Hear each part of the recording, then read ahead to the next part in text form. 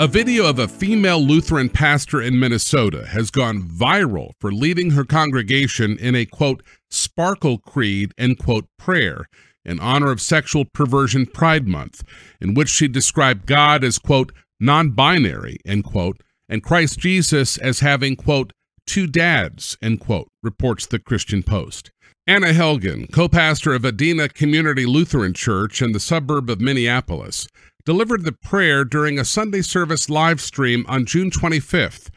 2 Timothy 4, verse 3 says, For the time will come when people will not put up with sound doctrine. Instead, to suit their own desires, they will gather around them a great number of teachers to say what their itching ears We want to hear. for the extraordinary clergy who lead in this congregation and beyond, especially for Pastor Jeff and for Deacon Lauren,